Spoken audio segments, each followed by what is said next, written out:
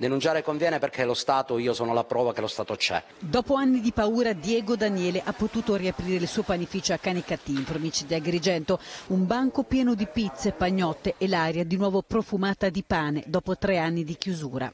Stiamo cercando il primo giorno di apertura di rimettere in moto eh, la nostra azienda in un'economia legale grazie ai fondi dello Stato, grazie alla vicinanza dello Stato. Finito in mano agli estorsori, Daniele tre anni fa era stato costretto a chiudere, non sapeva più come fare ad uscire da quell'incubo fatto di minacce, violenze ed intimidazioni, fino a quando ha trovato il coraggio di denunciare i suoi estorsori. Ha chiesto aiuto e grazie alla prefettura di Agrigento e al comitato di vigilanza del Ministero dell'Interno è stato messo sotto protezione, sostenuto e guidato fino a questa ripartenza.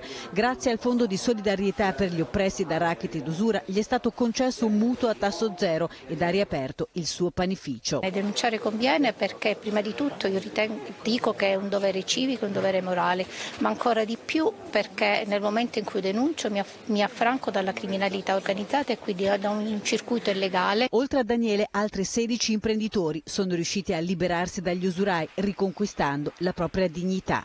Oggi una delle prime vittime accompagnate su questo territorio, che sono all'incirca 16, ha realizzato un, una bella attività commerciale ex novo e questo grazie a quelli che sono gli aiuti dello Stato del Ministero degli Interni.